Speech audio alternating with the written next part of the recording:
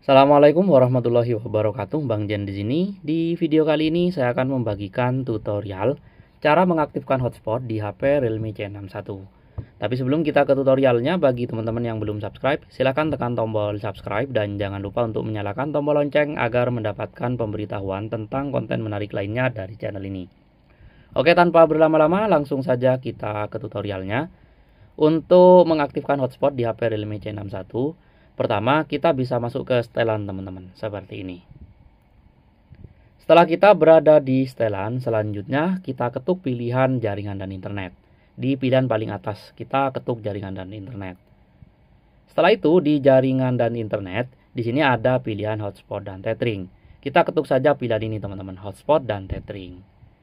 Setelah itu, untuk mengaktifkan hotspot, tinggal aktifkan saja tombol dari hotspot WiFi, seperti ini.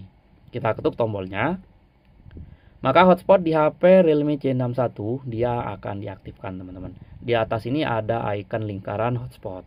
Ini untuk cara pertama mengaktifkan hotspot di HP Realme C61. Nah, cara kedua kita bisa masuk ke pusat kontrol teman-teman. Cara kedua ini lebih simpel. Kita masuk ke pusat kontrol.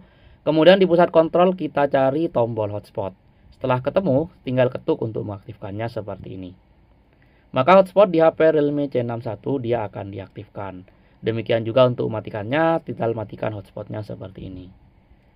Oke teman-teman, demikian tutorial cara mengaktifkan hotspot di HP Realme C61. Semoga bermanfaat, kurang lebihnya saya mohon maaf. Wassalamualaikum warahmatullahi wabarakatuh.